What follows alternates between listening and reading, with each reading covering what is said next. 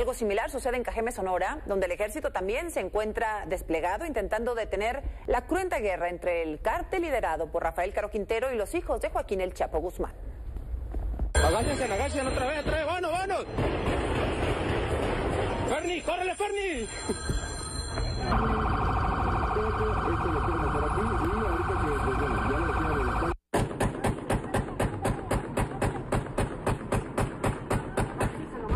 En Sonora, la violencia y el deterioro en varios municipios se dio tras la liberación en 2013 de Rafael Caro Quintero, quien tras 28 años preso por el asesinato del agente de la aldea, Enrique Kiki Camarena, regresó al Estado con mayor furia.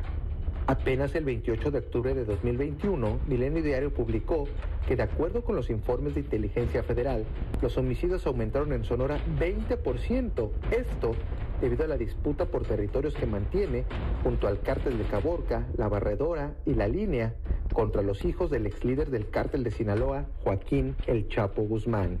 Estoy ocupado, no solo preocupado. Ya tenemos un plan especial que se está aplicando para garantizar la paz y la tranquilidad, porque se convirtió Cajeme en uno de los municipios más peligrosos de México. Lo que más afecta eh, eh, la seguridad y la violencia en nuestro eh, la actividad del narcomenudeo y el consumo eh, local. En medio de esta sanguinaria disputa, el gobierno federal ordenó iniciar una estrategia de seguridad que arrancó el primero de febrero y logró reducir 56% los homicidios respecto a enero y teniendo dos días sin registro de ejecuciones, lo que no se veía en 20 años.